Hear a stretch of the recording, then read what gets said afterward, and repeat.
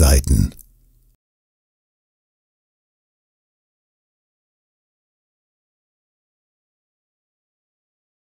Hallo zusammen. Schönen Nachmittag wünsche ich Ihnen, verehrtes Publikum. Ich begrüße Sie und begrüße vor allem unseren Referenten Dr. Heinz Klippert.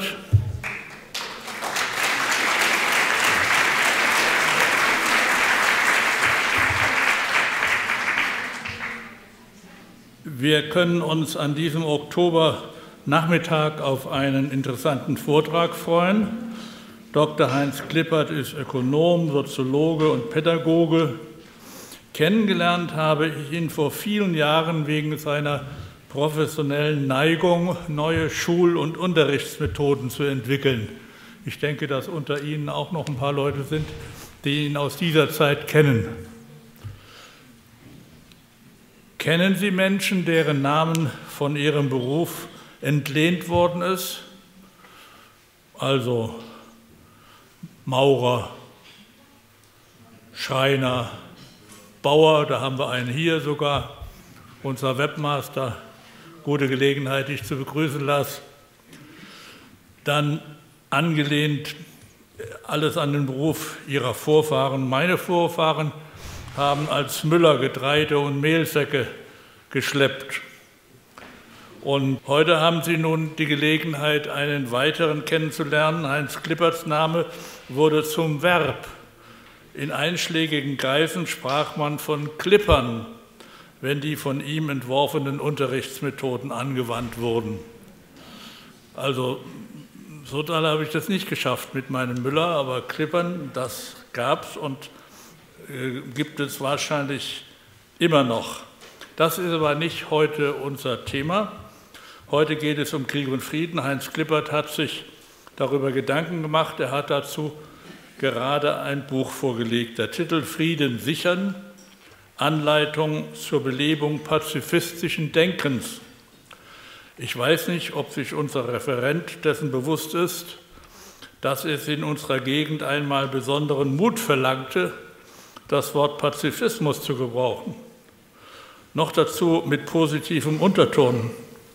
Es gibt nämlich eine berühmt gewordene Parole eines Bundestagsabgeordneten aus der Südpfalz zum Thema Pazifismus.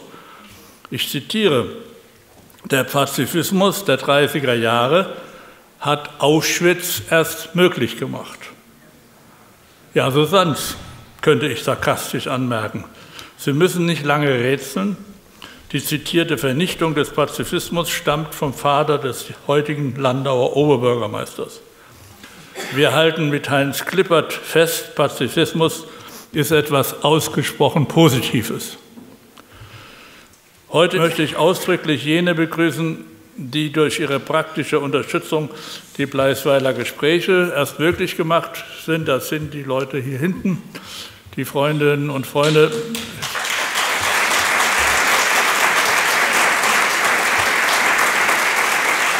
eigentlich, hatte ich, hat, eigentlich hatte ich Sie vor, persönlich mit Namen zu nennen, aber Sie haben mir das untersagt. Aber sagen darf ich, dass ohne eure Unterstützung eine solche Veranstaltung wie heute Nachmittag nicht möglich wäre. Also vielen, vielen Dank. Dass wir uns mit der Frage, wie der Friede gesichert werden kann, überhaupt noch beschäftigen müssen, das hätte ich früher, zum Beispiel vor gut 20 Jahren, nicht geglaubt. Damals, im September 2001, sprach der russische Präsident Wladimir Putin im Deutschen Bundestag. Er erntete großen Applaus. Es war die Zeit, als der russische Präsident, wie auch viele von uns, von einem großen Raum des Friedens zwischen Wladiwostok bis nach Lissabon schwärmten, träumten. Wir waren fest davon überzeugt, und es sprach auch alles dafür, dass es Frieden in Europa geben würde. So wie wir nach 1945 gelernt hatten, dass wir keinen Krieg mehr und keine Krach mehr mit den Franzosen haben. Das ist zehn Kilometer von hier entfernt und die Grenze ist überhaupt nicht spürbar, es sei denn, sie wird wegen Corona mal wieder mobilisiert, was ich nicht so gut fand, aber sie gibt es nicht. Und deshalb äh, das ist wirklich ein, ein vernünftiges Zusammenleben von Völkern, wie wir es hier praktizieren. Und äh, so hatte ich eigentlich gedacht, geht das auch mit Russland. Und es war ja auch alles ganz gut eingetütet. Zum Beispiel gab es weit über 100 Städtepartnerschaften. Es gab Partnerschaften zwischen Schulen und Sportvereinen. Ich verweise auf zwei Beispiele aus unserer Region. Erstens die Städtepartnerschaft zwischen Speyer und der russischen Stadt Kursk. Und zweitens die Schulpartnerschaft zwischen dem Trifels-Gymnasium in Anweiler und einem Gymnasium in Moskau. 1993 waren eine größere Zahl von Schülern und Lehrern des dortigen Gymnasiums hier in der Südpfalz und eine Gruppe von Schülern, Lehrerinnen und Lehrern aus Anweiler war in Moskau. Ich war damals mit dabei und dieser Austausch war großartig. Wir hatten konstruktive und auch schöne Beziehungen und Begegnungen. Warum sind diese guten Beziehungen zwischen Städten, Schulen, Sportvereinen weitgehend eingefroren? wie das heute ist. Das ist von oben verfügt worden, auch von der Europäischen Union betrieben worden. Warum ist diese praktische Verständigungsarbeit zerstört worden? Es ist aus meiner Sicht der helle Wahnsinn. Wenn ich an den Teufel glauben würde, dann müsste ich feststellen, hier war der Teufel am Werk. Man kann es aber auch nüchterner formulieren. Die Rüstungsindustrie hat offenbar festgestellt, dass sie Konflikte braucht. Sie, Sie, sie braucht den Tod, um leben zu können. Ich wiederhole diese wichtige Erkenntnis in Variation. Die Rüstungswirtschaft meint, sie brauche den Tod, um gut leben zu können. Und dann gibt es offensichtlich auch Politiker, die sich ein politisches Leben ohne Feindseligkeiten und Feindbilder nicht vorstellen können. Und viele Medien folgen diesem Glauben. Diesen Kräften wollen wir heute wenigstens ein bisschen ins Handwerk pfuschen und ich denke, Sie werden das mit unterstützen. Bevor ich dann endlich auch das Wort an Heinz Klippert abgebe, muss ich noch einiges ergänzen. Eine solche Veranstaltung auszurichten kostet Geld. Wir erheben trotzdem keinen Eintrittsgeld, aber weil wir auch Menschen den Besuch ermöglichen wollen, die nicht über das nötige Kleingeld verfügen. Umso mehr bitten wir alle anderen um eine großzügige Spende. Wie üblich werden Sie mit einer Sammelbox um Ihren Beitrag gebeten. Vortrag und Diskussion werden aufgezeichnet und von den Nachdenkseiten ins Netz gestellt. Wenn Sie nicht ins Bild kommen wollen, dann sollten Sie sich außerhalb des Blickwinkels der Kameras setzen oder Ihr Gesicht verhüllen. Das muss ich sagen, weil wir äh, das einfach äh, machen wollen und wir andererseits äh, gesichert sein sollen, wollen gegen Proteste. Es gibt einen Büchertisch mit dem neuesten einschlägigen Buch unseres Referenten und einigen anderen Büchern. Heinz Klippert wird signieren. Nutzen Sie die Möglichkeit, ein interessantes Buch mit nach Hause zu nehmen. Nur noch ein paar Anmerkungen zum Ablauf. Es folgt der Vortrag unseres Referenten gleich. Dann machen wir eine kleine Pause von gut 20 Minuten. Nutzen Sie diese, um sich mit Getränken, Brezeln und Kuchen zu versorgen. Und dann kommt die Diskussion. Dafür gibt es wie immer bei den Bleiswerder Gesprächen eine einfache Regel. Fragen und Diskussionsbeiträge werden nicht gesammelt, sondern nacheinander sofort beantwortet. Sowohl die Fragenden als auch der Referent sind freundlich gebeten, sich kurz zu halten. Dann kriegen wir eine lebendige Diskussion. Ja, Heinz Klippert, du hast das Wort. Ich bin gespannt. Sie vermutlich und hoffentlich auch. Danke fürs Kommen.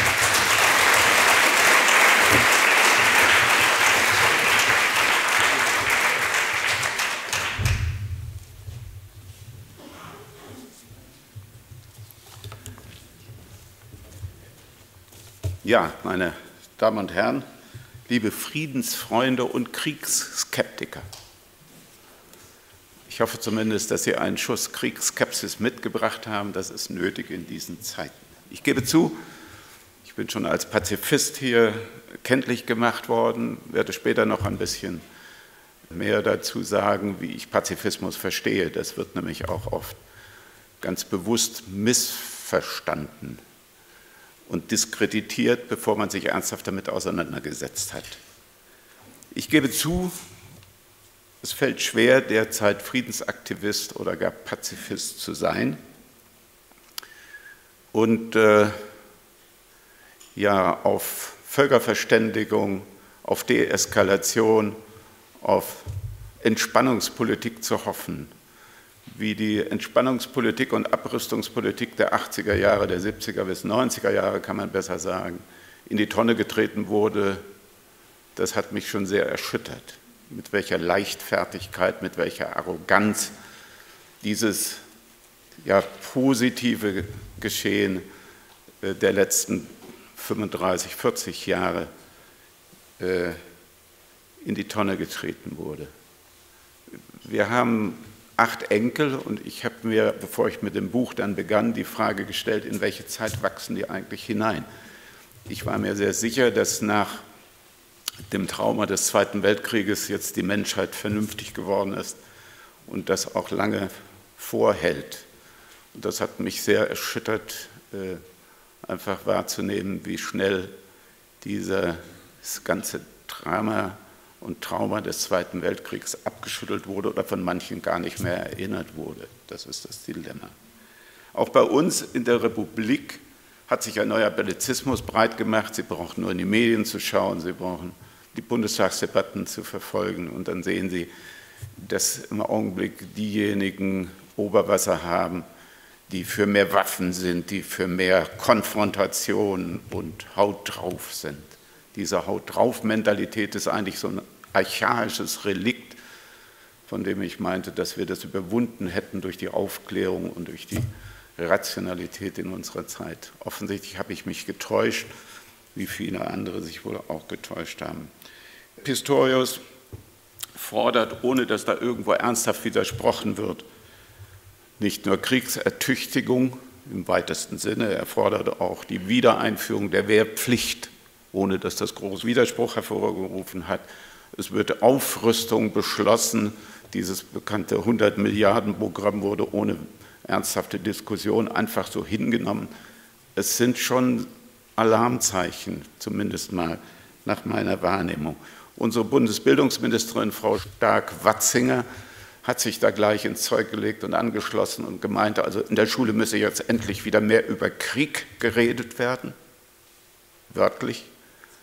Es müssten wieder ABC-Übungen in der Schule für den Fall des Falles durchgeführt werden und die Bundeswehr müsste wieder ungehinderten Zugang zur Schule bekommen. Sie hat dafür auch keinen nennenswerten Widerspruch geerntet. All das äh, ja, macht mich fassungslos und alarmiert mich im schlimmsten Sinne des Wortes. Wo immer man hinschaut, Kriegsvorbereitung und Kriegsrhetorik ist das Gebot der Stunde, so meint man. Äh, Sie brauchen nur die Tageszeitung zu lesen, wenn Sie gesehen haben, heute Nacht hat Israel den Iran beschossen. Ich frage mich, mit welcher Zielsetzung eigentlich? Was geht in den Köpfen derjenigen, die diese Eskalation immer weiter vorantreiben, eigentlich vor? Sind sie sich darüber bewusst, dass äh, das sehr schnell in einen dritten Weltkrieg einmünden kann? Offensichtlich gilt das für viele nicht. Ich will deshalb noch mal betonen, es ist an der Zeit, quer zu denken. Der Begriff Querdenker ist ja sehr diskreditiert worden in den letzten Jahren, obwohl der immer sehr positiv konnotiert war. Wir müssen gegen den Strich denken. Wir müssen uns auch frei machen von dieser einseitigen Propaganda unserer alltäglichen Medien.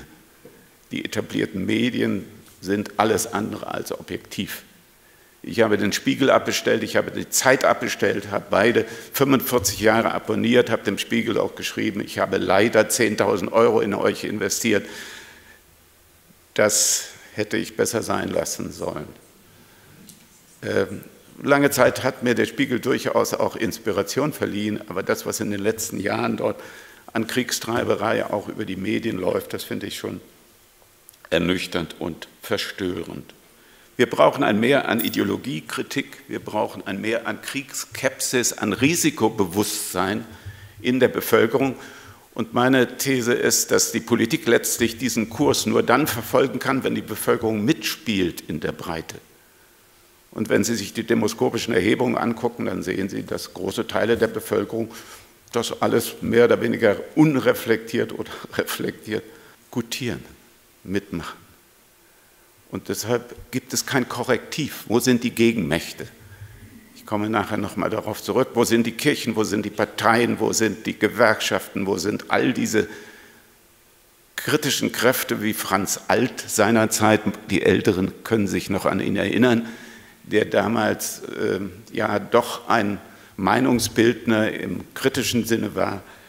Sie fehlen. In den Medien suchen wir solche Personen derzeit vergeblich.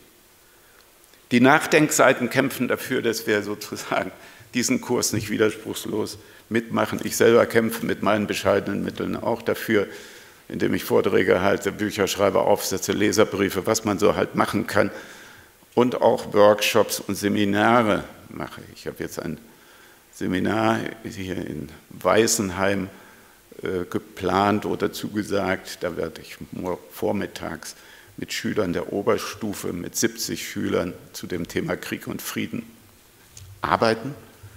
Und abends gibt es einen korrespondierenden Vortrag für Eltern, Lehrkräfte und sonstige Vertreter der Öffentlichkeit in Meißenheim und Umgebung. Es ist ein kleiner Versuch, sozusagen die Jugend auch wieder anzusprechen. Wenn ich hier so reingucke, sehe ich halt auch, dass die Jugend in hohem Maße fehlt. Also ich freue mich über alle, die unter 60 sind. Also so gesehen besteht da noch Entwicklungsbedarf bei den Jugendlichen. Also ich danke den Nachdenkseiten, dass Sie diese Informationslinie unserer etablierten Medien so ein bisschen kontrastieren und korrigieren und äh, versuche meinen Teil eben auch dazu zu geben. Ich plädiere für einen reflektierten Pazifismus und damit meine ich einen begründeten, einen wohldurchdachten, einen strategisch reflektierten Pazifismus, also es geht um Friedensfantasie. Es geht nicht einfach um so eine leichtfertige ja, Akzeptanz der Brutalität des anderen, sondern es geht um Widerstand mit anderen Mitteln. Ich werde später noch mal darauf zurückkommen. Es gibt gewaltfreien Widerstand, der sehr erfolgreich war und der auch heute sehr erfolgreich sein kann. Die sogenannte Revolution in der DDR war gewaltfreier Widerstand und hat dazu geführt, dass es kein Blutvergießen gab und dass insgesamt vieles auch im Interesse der Menschen dort verändert werden konnte. Zum Vortrag insgesamt, ich habe Ihnen ein kleines Handout ausgelegt, das so als Leitfaden dienen kann. Da können Sie im Weiteren verfolgen, zu welchen Punkten ich etwas ausführen werde. Es sind insgesamt fünf Hauptpunkte, ich komme gleich nochmal dazu, und es ist am Anfang eine kleine Gesprächsphase, schließlich heißt es ja Pleisweiler Gespräche. Das ging mir so durch den Kopf und ich habe dann auch bei früheren Veranstaltungen schon gedacht, eigentlich ist es nicht wirklich ein Gespräch zwischen denen da in dem Auditorium, sondern es ist bestenfalls eine Frage-Antwort oder eine reduzierte Interaktion zwischen Referent und Publikum. Im ersten Schritt möchte ich Ihnen eine These, die Sie auf Ihrem Papier da schon finden, zumuten, zu der Sie sich kurz Gedanken machen können und dann auch miteinander reden können. Es ist eine These, die direkt mit unserem Thema zusammenhängt. Kriegsertüchtigung zielt auf das Qualifizieren mündiger, verantwortungsbewusster und friedliebender Staatsbürger in Uniform. So die Aussage eines Jugendoffiziers kürzlich bei einer Debatte in Kaiserslautern, an der ich teilnahm. Das habe ich mir notiert und habe gedacht, ja, was ist denn daran jetzt eigentlich plausibel und was ist weniger plausibel? Ich gebe Ihnen gleich Gelegenheit äh, dazu, A, sich mal so einzuordnen. Sie sehen, es gibt da eine Skala von plus 3 bis minus 3. Plus 3 heißt, ich stimme dieser Aussage voll und ganz zu. Äh, minus 3 heißt, ich bin völlig anderer Auffassung und Sie können aber auch dazwischen sich einordnen und dann halt Argumente überlegen und mit einem Nachbarn, einer Nachbarin rechts, links, hinten, vorne dann das Gespräch aufnehmen. Sie haben etwa fünf Minuten Zeit, also nutzen Sie die Gelegenheit, einfach mal mit Ihren Nachbarn ins Gespräch zu kommen zu dieser These.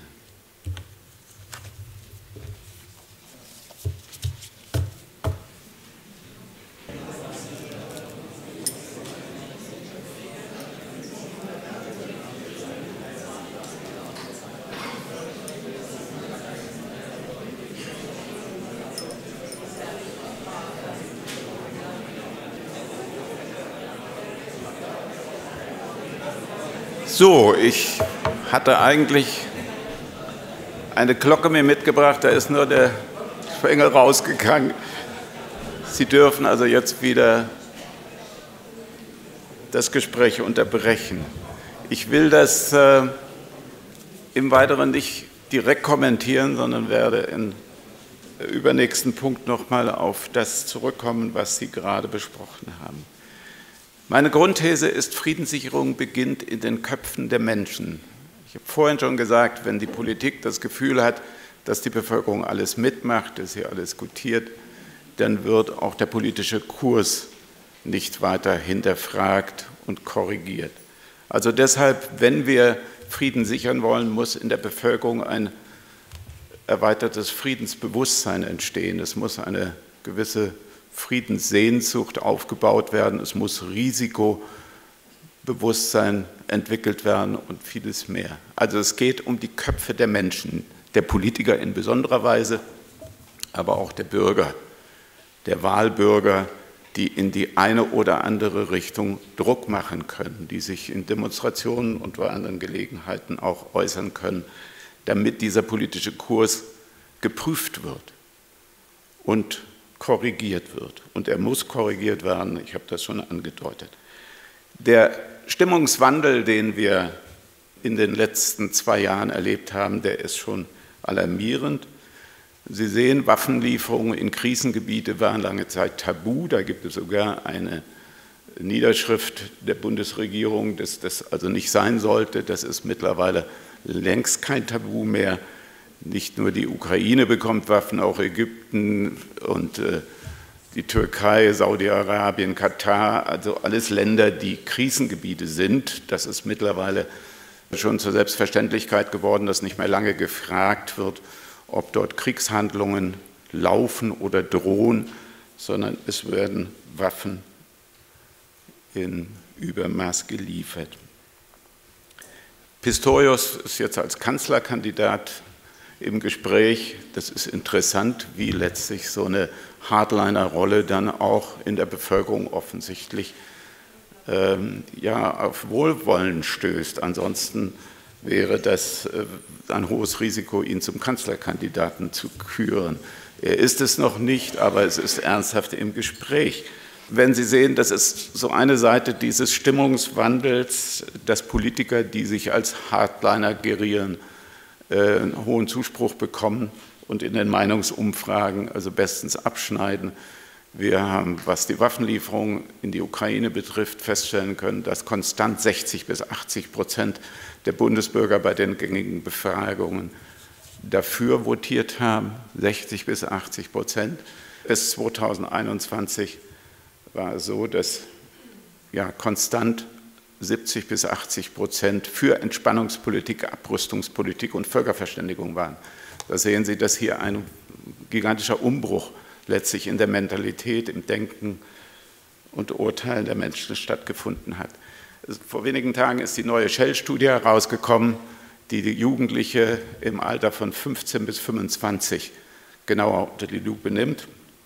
Und da finde ich interessant einen Befund, diese 15- bis 25-Jährigen fürchten zu 81 Prozent einen neuen Krieg, einen Weltkrieg. Also sie haben Angst vor einem Weltkrieg, sind aber zu 60 Prozent dafür, dass den Russen mit militärischen Mitteln auf die Nase geklopft wird, um das mal so etwas salopp zu sagen.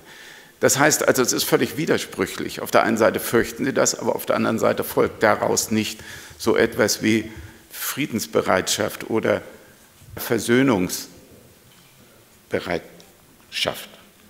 In Bayern hat es vor wenigen Wochen ein neues Gesetz gegeben. Ich weiß nicht, wer das so mitbekommen hat. Vieles geht ja so unter der Hand. Ein Bundeswehrförderungsgesetz. Die Bundeswehr hat jetzt nicht nur das Recht im Rahmen von Kooperationsvereinbarungen in die Schulen gelassen zu werden, aber die Schulen entscheiden darüber, ob sie rein dürfen, sondern sie haben ein Recht darauf, in die Schulen zu gehen. Das heißt also, es ist in der politischen Bildung zumindest mal der Bundeswehr ein Freibrief ausgestellt worden, in den Schulen ihre Sicht der Dinge darstellen, darlegen zu können.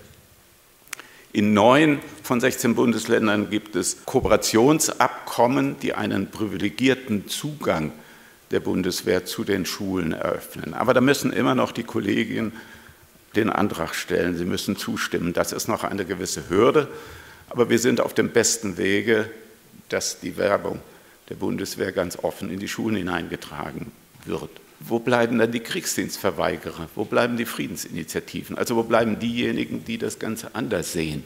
Also wenn wir wirklich Pluralismus leben wollten, müssten wir auch, wenn schon die Bundeswehr in die Schulen kommt, auch andere Organisationen in die Schulen hineinlassen. Ich habe vorhin schon erwähnt, es gibt kaum Widerspruch zu dem 100 Milliarden Sonderprogramm zur Aufrüstung der Bundeswehr, zur Modernisierung der Bundeswehr. Es gibt auch kaum Widerstand gegenüber dieser Ankündigung, dass ab 2026 Raketen in Wiesbaden, Mittelstreckenraketen neuester Bauart in Wiesbaden stationiert werden sollen. Wir hatten 1981 mal 83 Großdemonstrationen, als es um die Nachrüstung ging. Damals, sowas fehlt mir ein bisschen. Also ich sehe, dass einfach in der Bevölkerung so ein gewisses Phlegma sich ausgebreitet hat, so eine Duldsamkeit, völlig unkritische Grundhaltung auch, die zur Gefahr werden kann. Kriegsertüchtigung, Aufrüstung, Wehrpflicht scheinen alternativlos. Der Begriff der Alternativlosigkeit ist an dieser Stelle auch gefährlich. Ich frage mich, wo sind, wie vorhin schon erwähnt, die oppositionellen Gruppen?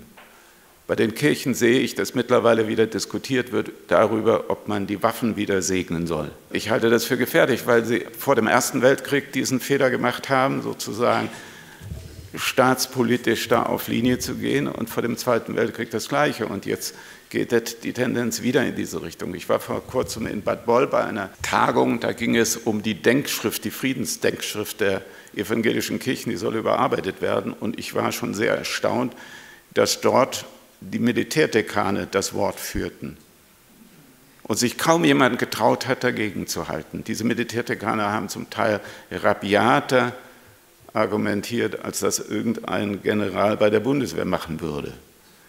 Also die waren so überzeugt davon, dass Putin schlichtweg die Inkarnation des Teufels ist und dass nur diesem wieder auferstandenen Hitler mit Waffen begegnet werden kann.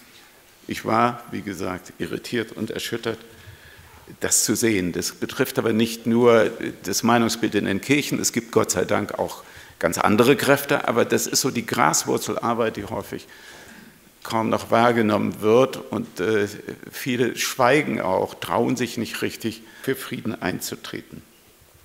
Das Dilemma ist, dass diese Kriegsertüchtigung, von der derzeit viele reden, nicht nur Pistorius und Stark-Watzinger, eine gewisse ethisch-moralische Enthemmung bedeutet. Also Sie haben das vorhin diskutiert. Letztlich geht es darum, wenn Sie Kriegsertüchtigung betreiben, Feindbilder aufzubauen, Feindbilder kognitiv auch zu kultivieren und äh, eine gewisse Hass- und Hetzeneigung dann auch aufzubauen. Kaum beachtet wird, das finde ich auch höchst bedenklich, dass im Grundgesetz in der Präambel die Friedenspflicht angemahnt wird. Also die Politik hat für den Frieden einzutreten. Ich sehe im Augenblick nicht allzu viel davon. Und in Artikel 9 des Grundgesetzes wird die Völkerverständigung angemahnt. Wo bleibt dieses Bemühen um Völkerverständigung? Ich sehe im Augenblick wenig. Das alles verbietet eigentlich sowohl das Grundgesetz als auch das, was an Gefahren mit dieser Kriegsertüchtigung verbunden ist, diese mentale und emotionale Kriegsertüchtigung der Jugend. Es geht um mentale Prägungen und emotionale Prägungen. Die Scheu vor dem Zerstören anderer wird letztlich abgebaut oder soll abgebaut werden. Jetzt findet das noch nicht mal primär in den Schulen statt, aber dort beginnt das Ganze. Es geht um die Sensibilisierung der Kinder und Jugendlichen für Kriege und für die Notwendigkeit, für die Alternativlosigkeit von Kriegen. Und das ist gefährlich. Wenn, wie gesagt, müssten auch Friedensdienste, Kriegsdienstverweigerer offen zu Wort kommen können. Ich bin der Ansicht, Friedensbildung muss diese Debatte eröffnen und muss Orientierung bieten. Also wer hinterfragt das, was dort läuft? Wer hinterfragt diese äh, Stimmungsbilder, die sich ausbreiten, diesen neuen Bellizismus? Wer bringt Gegeninformationen? Also hier, denke ich, ist Schule und sind Bildungseinrichtungen generell gefordert, eine gewisse Blickerweiterung sicherzustellen und breit gefächerte Orientierung zu bieten. Ich komme zu dem zweiten Punkt, wie Hass, Hetze und Feindbilder geschürt werden. Das ist auf der ersten Seite unten der Fahrplan in der unteren Folie. Es gibt, wenn Sie mal in die Medien hineinschauen, auch in die öffentlichen Debatten, in die Talkshows und so weiter, es gibt Shitstorms, das ist ein neuer Begriff, wie Sie wissen, gegen Guterres, gegen den Papst, der da sich getraut hat, darauf hinzuweisen, dass manchmal die weiße Fahne auch vernünftig sein kann. Guterres hat schlicht und einfach auf etwas Selbstverständliches hingewiesen, dass bei dem Überfall der Hamas der historische Kontext mit berücksichtigt werden sollte. Also wenn man das verstehen will, um diese Konfrontation aufzulösen, dann muss man historisch zurückblicken auch. Man kann Hass nicht wegbomben. Das ist das, was wir gegenwärtig so in fataler Weise erleben. Es wird versucht, mit militärischen Mitteln den aufgestauten Hass zu beseitigen oder das Misstrauen zu beseitigen, das entstanden ist. Wenn Sie mal den Begriff des Pazifismus nehmen, Sascha Lober vom Spiegel hat äh, vom Lumpenpazifisten gesprochen, hat das auf den äh, Friedensbeauftragten der Evangelischen Kirche Deutschlands bezogen, den Herrn Christoph Kramer. Also die Frau Käßmann hat Shitstorms geerntet. Äh, Zitzek bei der Frankfurter Buchmesse, der auch diesen Kontextbezug des Hamas-Überfalles ins Gespräch gebracht hat. Ähm, Lambsdorff hat von der fünften Kolonne Putins gesprochen. Habeck hat gemeint, Pazifisten sind Feiglinge. Sie merken, wie letztlich das Vokabular verroht, wie also hier Diffamierung betrieben wird im schlimmsten Sinne des Wortes. Lumpenpazifisten, Feiglinge, fünfte Kolonne Putins, das sind diskreditierende Bezeichnungen, die unterhalb der Gürtellinie liegen. Wenn Sie sich die Berichterstattung in den Medien, in den Talkshows anschauen, in den Zeitungen, dann sehen Sie, dass dort vor allem Strack-Zimmermann, Hofreiter, Kiesewetter, Röttgen, Klinkbeil immer wieder auftauchen oder irgendwelche Exil-Russen oder Exil-Ukrainer. Das sind nicht unbedingt diejenigen, die für objektive Berichterstattung und objektive Beurteilung stehen. Also hier tut sich so einiges, was letztlich dieses Stimmungsbild in der Bevölkerung sehr stark auch mitprägt und zuspitzt. Zudem gibt es dubiose Militär- und Sicherheitsexperten, die Sie im Fernsehen und bei anderen Gelegenheiten immer wieder verfolgen können. Da ist Masala, meist wird nicht gesagt, dass er von der Bundeswehrhochschule kommt in München. Also das ist der Experte schlechthin. Der hat, ich will nicht sagen, der macht es bewusst, aber er hat von seiner Profession her einen bestimmten Blick auf die Dinge. Und so gesehen, viele sogenannte Experten, die uns dort vorgeführt werden, sind relativ einseitig auf Kriegskurs festgelegt. Das ist das, was mich immer wieder dann auch aufregt, deshalb diese Aufkündigung des Abos des Spiegel und der Zeit, weil sie dort permanent Experten hatten, die genau die Begründung für Eskalation, militärische Eskalation geliefert haben. Experten wie Kujat, Fat, Donani, Verheugen, um nur einige zu nennen, kommen kaum noch vor.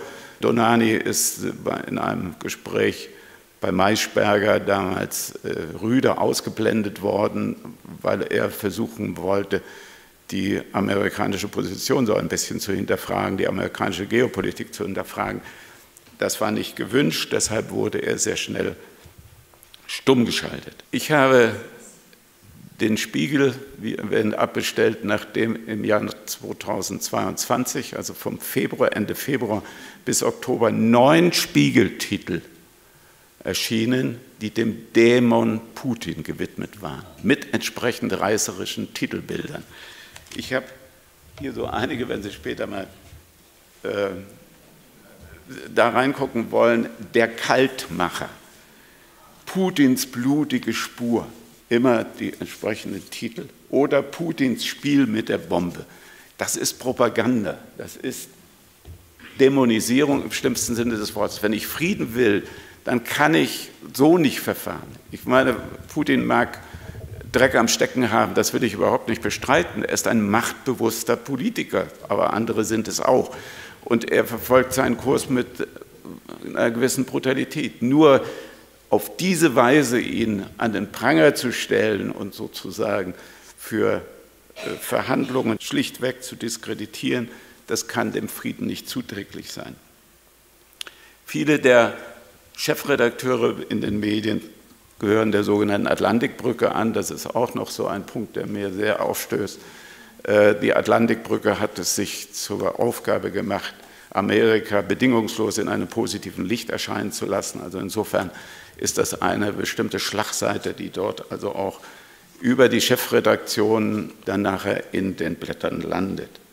Friedensbildung muss dieses Meinungsmanagement, das ist mein Fazit an dieser Stelle, hinterfragen und weitere Gegeninformationen suchen und zugänglich machen.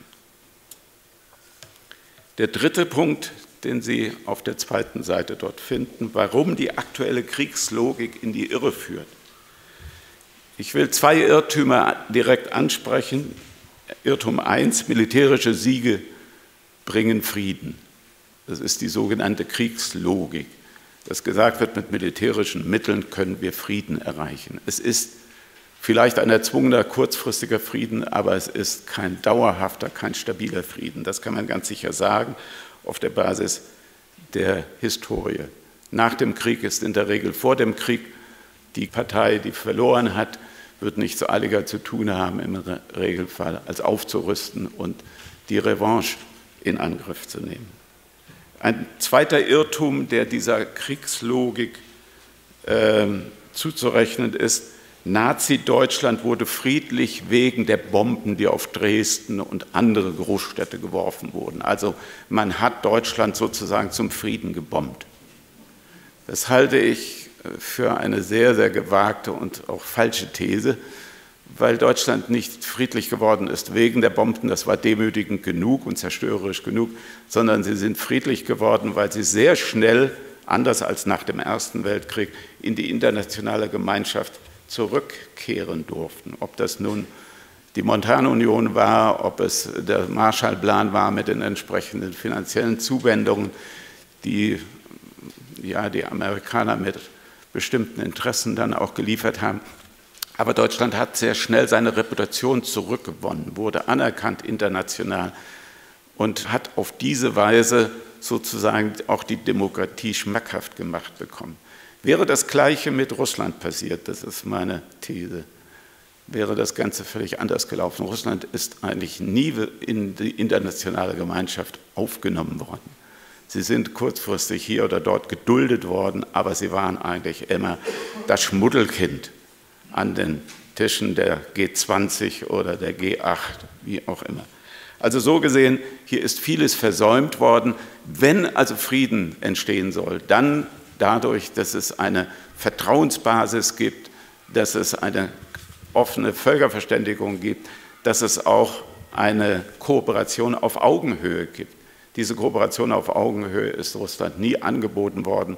Russland wollte in die NATO, wie Sie wissen, in den sogar, also es wurde überlegt, in die NATO zu gehen in den 90er Jahren, aber das ist äh, brüsk abgelehnt worden damals, weil dann die Amerikaner einen Partner auf Augenhöhe gehabt haben.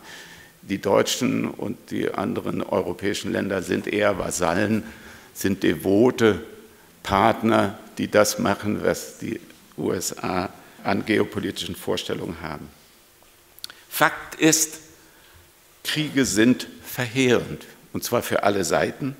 Der Erste Weltkrieg, nur, um nur einige Daten noch mal so in Erinnerung zu rufen, hat 9 Millionen Tote gebracht. Der Zweite Weltkrieg 65 Millionen. Der Vietnamkrieg zum Beispiel 5 Millionen Tote. Hinzu kamen gigantische Umweltschäden, gigantische Gebäudeschäden und äh, Verletzte, Traumatisierte. Also wenn man sich das mal alles anschaut, dann stellt sich schon die Frage, worin denn der Sinn dieser Kriege besteht. Wo bessert sich etwas? Wenn Sie sich genauer anschauen, die Kriege, die nach 9-11 geführt wurden, in Afghanistan, in Syrien, in Libyen, in, äh, im Irak und so weiter, dann können Sie feststellen, es sind dort fünf bis sechs Millionen Menschen getötet worden. 38 Millionen Flüchtlinge sind äh, produziert worden, so das Watson-Institut in Amerika. Viele dieser Flüchtlinge sind auch in die EU gekommen, also unsere äh, Migrationsproblematik hat auch damit zu tun, dass derart viele Länder destabilisiert wurden, dass dort Flüchtlingsströme ganz zwangsläufig entstanden sind. Wenn Sie dann sich die Frage stellen, was ist denn eigentlich besser geworden, dann können Sie von Afghanistan über den Irak bis hin zu Libyen sehen, es ist eigentlich alles schlechter geworden. Weniger Freiheit, weniger Sicherheit, weniger Gerechtigkeit und weniger Wohlstand. Also wo besteht der Sinn dieser Kriege? Es wird ja immer uns vorgemacht, dass Kriege zu einer besseren Welt nachher führen im Ergebnis. Ich sehe das nicht recht. Und ich denke, das ist eine Aufgabe der Friedensbildung, diese gigantischen Schattenseiten von Kriegen ins Bewusstsein zu heben. Schüler und Schülerinnen müssen erschrecken, wenn sie an Kriege denken. Und sie müssen das Drama von Kriegen auch ein Stück weit vor Augen haben. Ich kann mich erinnern, bei uns in der Dorfkirche, als ich ein Kind war, da hing so eine große Tafel mit den Gefallenen des Ersten und Zweiten Weltkrieges. Und das hat mich immer fasziniert und auch hochgradig erschreckt, weil es keine Familie gab, in der nicht mindestens ein männlicher Teil dort sein Leben gelassen hatte. Äh, so gesehen, das ist etwas, was sich eingeprägt hat. Ich bin auch nach dem Krieg groß geworden und habe eben die Zerstörung in Kassel, die Zerstörung in Frankfurt, die Zerstörung in Köln noch gesehen. Das fehlt heute vielen, dass sie sozusagen auch den Schrecken des Krieges drastisch vor Augen haben. Das Militär verlangt Kriege und fördert technische Perfektionierung. Das ist das Problem. Also wenn man diese Kriegslogik ernsthaft verfolgt, dann geht es darum, Albrecht Müller hat das vorhin schon gesagt, dass Kriege benötigt werden, damit es der Rüstungsindustrie gut geht, aber auch damit bestimmte Legitimationsprobleme der Regierenden behoben werden. Denn man kann auf diese Weise auch Tatkraft und eine gewisse Durchsetzungsfähigkeit demonstrieren. Viele Politiker leben davon, dass sie sich als Rüstungsavantgarde auch darstellen. Auch unsere Frau Strack-Zimmermann ist bekannt dafür, dass sie in einer engen Beziehung zur Rüstungsindustrie steht und mit dieser Position sehr viel öffentlichkeitswirksame Aufmerksamkeit erzielt. Das Schlimme ist, je mehr Waffen da sind, desto geringer ist letztlich die Neigung zu Verhandlungen. Amerika ist das beste Beispiel. Amerika hat einen Rüstungsetat von 916 Milliarden 2023 und Sie können dort feststellen, dass die in der Regel nicht verhandeln wollen. Also die Bereitschaft zu Verhandlungen steht und fällt auch mit so einer gewissen Verletzbarkeit. Und ein bisschen sarkastisch formuliert, vielleicht haben wir die letzten 40 Jahre Frieden gehabt, weil alle Seiten so schwach waren militärisch, dass keine Seite vor der anderen Angst haben musste. Es war abgerüstet worden, Russland war geschwächt, das hat man auch jetzt zu Beginn des Ukraine-Krieges gesehen, aber auch die westlichen Länder waren geschwächt. Viele haben sich über die Bundeswehr lustig gemacht. Vielleicht war gerade der desolate Zustand der Bundeswehr einen Angriff auf Deutschland gar nicht ernsthaft in Erwägung zu ziehen. Also so gesehen, die Frage ist, ob wir mit mehr Waffen mehr Frieden erreichen oder ob wir vielleicht ohne diese Aufrüstung größere Chancen haben, friedfertig miteinander zu leben und Vertrauen zu bilden. Friedensbildung muss diesen Teufelskreis hinterfragen. Das ist der dritte Punkt. Der vierte Punkt in dieser, auf der ersten Seite.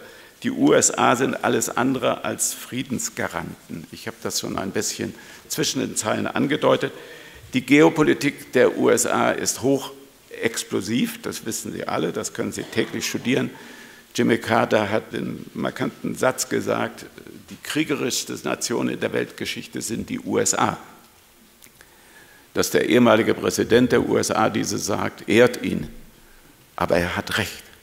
Denn wenn Sie mal die Geschichte äh, so zurückverfolgen in Mittelamerika, in Südamerika, aber auch gegenüber den Aborigines dort in Amerika, dann können Sie fest, oder auch was Sie in Asien und in Europa angestellt haben, dann können Sie feststellen, dass Sie eigentlich kaum einen Krieg weltweit ausgelassen haben. Es geht selten um Menschenrechte, Demokratie und Friedenssicherung, obwohl uns das immer wieder so nahegelegt wird. Der Geostratege, Sicherheitsexperte und Politikberater George Friedman hat das in einem Vortrag, der bereits 2014 aufgezeichnet wurde, nochmal sehr deutlich zum Ausdruck gebracht. Er sagte, wir haben aus dem Vietnamkrieg gelernt, dass es schlecht ist, wenn wir mit eigenen Truppen versuchen, unsere Interessen gegenüber Weltmachtkonkurrenten durchzusetzen, weil nämlich dann Amerikaner sterben und das im eigenen Land dann zu einer gewissen Aufruhr führt. Und äh, deshalb haben sie daraus, aus diesen Erfahrungen gelernt, dass sie Stellvertreterkriege brauchen. Es werden Länder an der Peripherie zu potenziellen Weltmachtkonkurrenten destabilisiert. Es werden Bürgerkriege entfacht, es werden Putschaktionen äh, eingefädelt, es werden Aufrüstungsmaßnahmen finanziert und auch durchgeführt. Also wenn Sie sich den ganzen Gürtel um Russland herum anschauen, dann gibt es kaum ein Land, in dem Amerika nicht versucht hat, destabilisierend zu wirken, um direkt oder indirekt Druck auf Russland auszuüben. Das darf man nicht einfach übersehen. Also ich bin der Letzte, der etwas gegen die Amerikaner hat, aber ich habe etwas gegen die Geopolitik der USA. Das ist ein großer Unterschied. Und diese Geopolitik, die ist auf Destabilisierung, auf Aufrüstung und letztlich auch auf weltweite Kriegsaktivitäten ausgerichtet. Der Vorteil dieser Stellvertreterkriege ist, wie Klaus von Donani das schön formuliert hat, dass in den USA keine Fensterscheibe klirrt.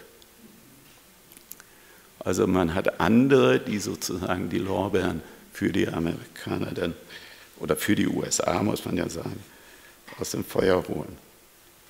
Zu dieser Geostrategie gehört massive Militärpräsenz weltweit. Auch das ist nicht allen vertraut. Die USA haben 800 Militärbasen in über 70 Ländern weltweit, in Deutschland mehrere. Das heißt, sie sind sehr stark mit eigenen Militär- und Spionagebasen in anderen Ländern aktiv. Und dass das immer nur zu friedfertigen Zwecken läuft, das äh, bezweifelt wahrscheinlich niemand.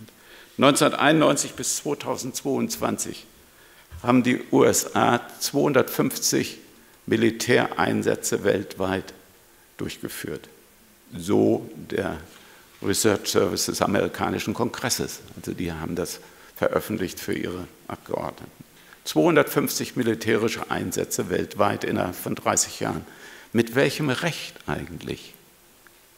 Und mit welcher Absicht? Also es geht darum, US-Interessen, ökonomische Interessen, politische Interessen und sonstige geostrategische Interessen mit aller Macht durchzusetzen dass es in der Ukraine innerhalb kürzester Zeit Militärbasen der USA 800 Kilometer oder 600 Kilometer von Moskau entfernt gegeben hätte, wenn die NATO-Mitgliedschaft offiziell eingerichtet worden wäre, ist unstrittig. Die New York Times hat äh, aufgedeckt, dass es an der Grenze zu Russland in der Ukraine zwölf Spionagebasen gab, die bereits aufgebaut waren. Also insofern, dass die Amerikaner, äh, dass die USA nur friedfertige Ziele dort verfolgen, ist ein Gerücht.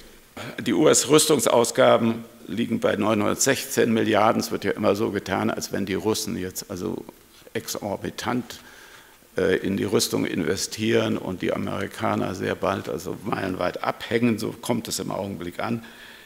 Russland hat 109 Milliarden US-Dollar Rüstungsausgaben 2023 gehabt.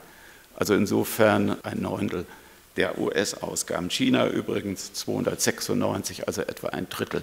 Selbst wenn man China und Russland zusammennimmt, haben die einen Bruchteil dessen, was die NATO-Staaten an Rüstungsausgaben praktizieren. Deshalb weiß ich nicht so richtig, was mit dieser äh, Panikmache, mit diesen ganzen Bedrohungsszenarien, die uns da tagtäglich vorgeführt werden, so eigentlich beabsichtigt ist. Friedensbildung muss diese Geopolitik, das ist mein Fazit wieder, kritisch beleuchten, muss Informationen bereitstellen, die deutlich machen, dass hier Interessen im Spiel sind und dass es weniger um Menschenrechte und Menschenwürde geht. Damit komme ich zum fünften und letzten Hauptpunkt. Pazifistisches Denken und Handeln ist eine wichtige und hilfreiche Perspektive. Pazifisten gelten hierzulande, wie erwähnt, als naiv, verantwortungslos und feige. Ein beliebtes Zitat, das Sie sicherlich auch schon gehört haben, stammt aus der Bergpredigt.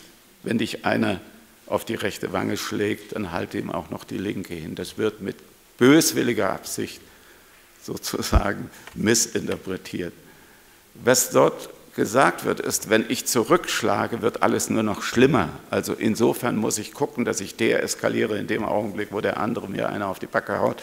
Und ich kann am ehesten deeskalieren, indem ich ihn in Erstaunen versetze. Wenn ich, mich, wenn ich die andere Backe hinhalte, wird das sozusagen als atypisches Verhalten, als nicht aggressives Verhalten wahrgenommen. Und deshalb führt es zur Verunsicherung und dann auch zur Zurückhaltung. Diese Feindesliebe, von der dort die Rede ist, die auch immer wieder vom Begriff, von der Begrifflichkeit her durch den Kakao gezogen wird, zielt eigentlich auf Toleranz oder mahnt an, dass man Toleranz, Vertrauensbildung und Verstehen in den Mittelpunkt stellen sollte. Das Buch Russland verstehen von der Frau Krone-Schmalz ist vom CR Beck Verlag seinerzeit aus dem Programm genommen worden. Seinerzeit, das ist noch nicht lange her, weil das offensichtlich nicht mehr erwünscht war, dass man Russland zu verstehen versucht. Verstehen wollen heißt aber etwas anderes als Verständnis haben. Also wir merken, dass hier dieser hermeneutische Grundsatz des Verstehenwollens äh, letztlich total diskreditiert wird. Der Begriff Putin-Versteher ist ja auch so ein Schlagwort, eine Killerphrase, die sofort zum Schweigen der Betroffenen dann auch führt. Ich muss, wenn ich Frieden stiften will, die andere Seite verstehen. Ich muss die Interessen der anderen Seiten verstehen und muss sie ernst nehmen auch. Ich muss sie nicht teilen, aber ich muss versuchen, damit umzugehen. Und selbst wenn Putin jetzt abgesetzt würde, käme ein anderer dran, der auch die russischen Interessen vertritt. Und diese russischen Interessen sind andere als die amerikanischen. Also insofern, es wird keinen Frieden in Europa ohne Russland geben und schon gar keinen gegen Russland. Und das sollten sich unsere Politiker mal klar machen. Und so etwas muss im Rahmen der Friedensbildung auch ins Bewusstsein gelangen. Also was mir vorschwebt, ist nachher in der nächsten Folie dann nochmal deutlich sichtbar. Ich komme gleich darauf zurück. Wichtig ist, Pazifisten sind keine Naivlinge, sie sind wehrhaft, aber wehrhaft auf andere Weise, als das die Militärs sich so vorstellen. Beispiele sind Gandhi, Martin Luther King. Sie können sich sicherlich noch erinnern, auch die US-Studenten, die damals dazu beigetragen haben, dass der, äh, dass der Vietnamkrieg in Frage gestellt wurde und irgendwann also auch beendet wurde. Ähm, die Bonner Demo, damals gegen den Nachrüstungsbeschluss, ist auch nicht folgenlos geblieben, denn in der Folge wurden Abrüstungsverhandlungen ernsthaft dann auch angegangen. Es gab verschiedene Verträge vom INF, ABM-Vertrag und andere, die in der Folge zustande gekommen sind. Also ich denke, der öffentliche Druck sollte nicht unterschätzt werden. Und was ich derzeit mit großem Unbehagen wahrnehme, ist, dass wir in der Republik fast keinen öffentlichen Druck haben, der in Richtung Friedensvorbereitung geht. Und äh, deshalb versuche ich an dieser Stelle anzusetzen und einfach diejenigen, die ansprechbar sind, die ein gewisses Unbehagen haben, auch zu bestärken, dieses Unbehagen beizubehalten und auch nach außen hin mit zivilem Widerstand zu verknüpfen. Wir brauchen zivilen Widerstand bei Wahlen, aber nicht nur bei Wahlen, sondern auch bei Demonstrationen. Und wenn ich sehe diese jämmerlichen Zahlen bei Demonstrationen, dann finde ich das sehr traurig eigentlich, dass wir da einfach nicht mehr Massen auf die Straße bringen, die diese Idiotie, diesen Irrsinn der laufenden Kriege äh, konterkarieren, Frage stellen. Es geht also um intellektuelle und soziale Gegenwehr. Intellektuelle Gegenwehr setzt voraus, dass ich etwas reflektiert habe, dass ich Argumente habe, dass ich also im Rahmen der Bildungsarbeit mich für die Kontroverse, für die Auseinandersetzung gerüstet habe, dass ich auch Mut geschöpft habe, mich zu äußern. Was ich derzeit eben erlebe immer wieder, ist, dass viele Leute nicht den Mut haben, sich zu äußern. Sie haben durchaus kritische Vorstellungen und hinterfragen manches, aber sie trauen sich nicht, das nach außen hin auch zu äußern. Also intellektuelle Gegenwehr ist auch ein Teil des Widerstandes. Und ich wünsche mir in unseren Medien, in unseren Zeitungen und Fernsehanstalten viel mehr Leute, die diese intellektuelle Gegenwehr an den Tag legen. Voraussetzung für diese intellektuelle und soziale Gegenwehr ist kritische Reflexion. Deshalb rede ich vom reflektierten Pazifismus. Also reflektierter Pazifismus ist kein naiver Pazifismus, sondern ein Pazifismus, der aus guten Gründen auf gewaltfreie Aktionen zielt und auf gewaltfreien Widerstand zielt und entsprechende Organisationsformen sucht. Ähm, Friedensbildung muss diese Kriegskepsis, diese Kritikfähigkeit und auch den Protestwillen aufbauen helfen.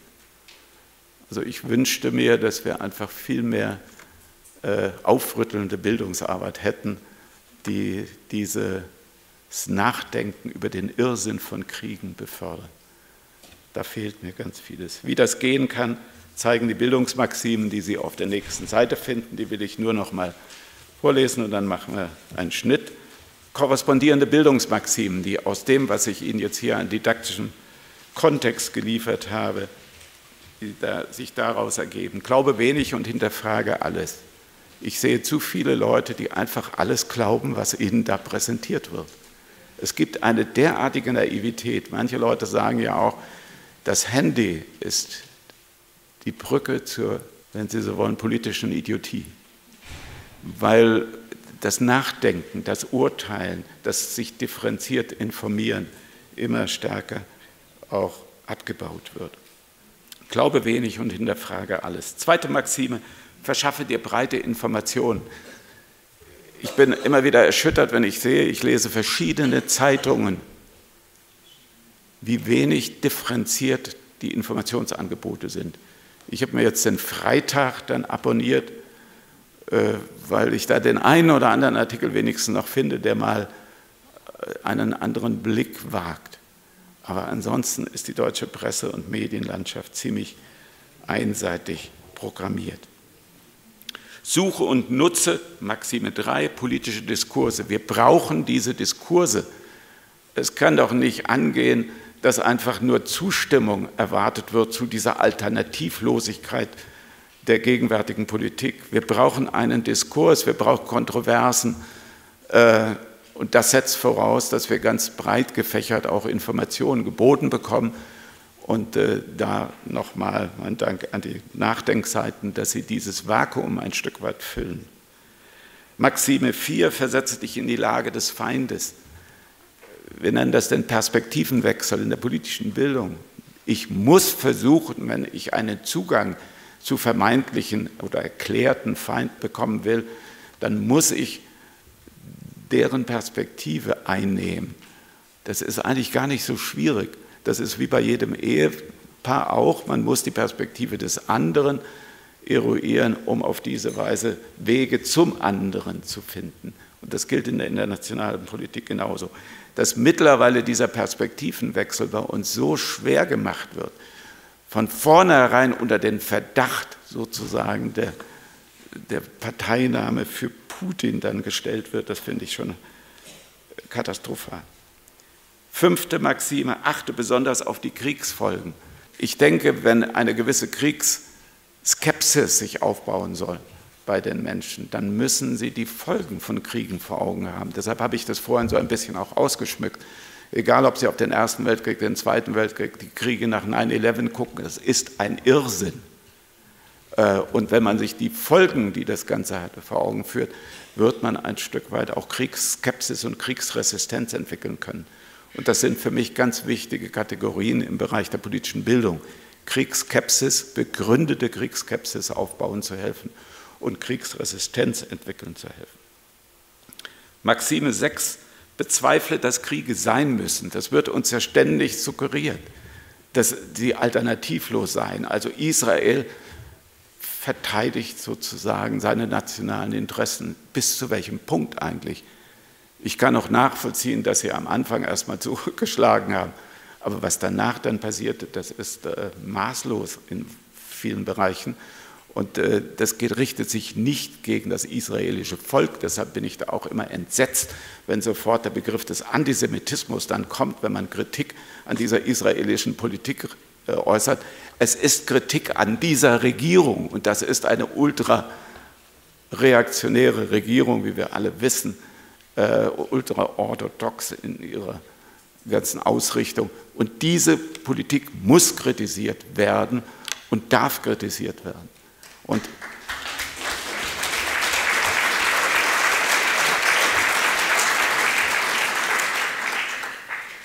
Und insofern bin ich der Ansicht, so ein bisschen Zivilcourage in diesem Bereich würde uns gut anstehen.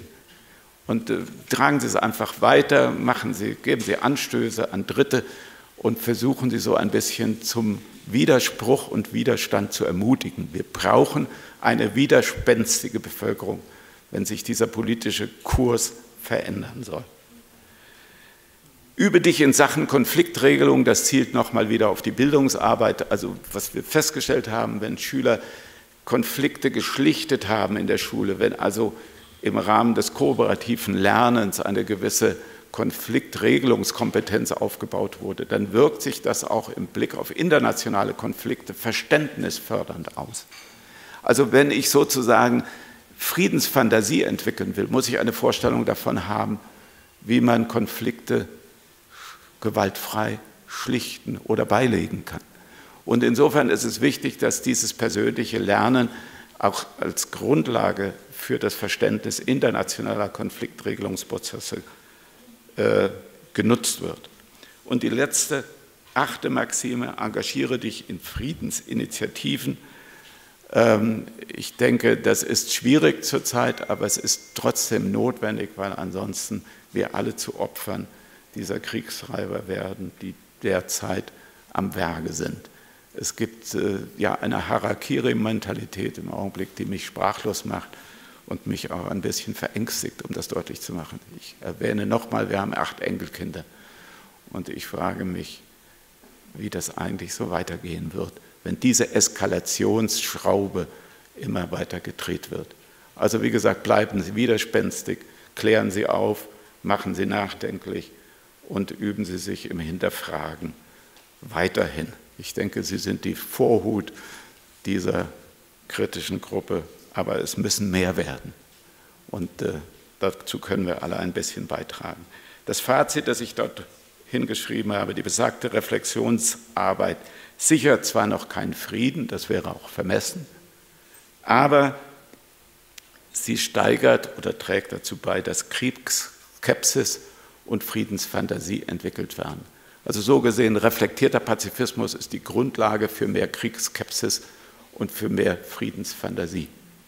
Und wir brauchen Friedensfantasie. Es muss der Frieden vorbereitet werden und nicht der Krieg. Danke.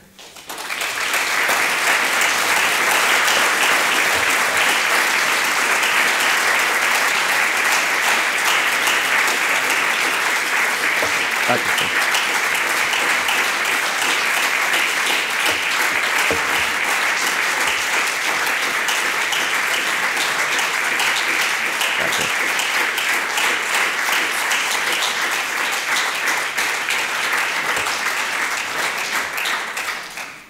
Vielen Dank. Wenn ich Albrecht Müller vorhin richtig verstanden habe, gibt es jetzt 20 Minuten, hast du gesagt. Äh, ja, Kaffeepause, Kuchen essen und miteinander reden. Und dann gibt es noch mal die Möglichkeit, äh, gezielte Fragen zu stellen oder sonstige Beiträge in Kurzform zu liefern.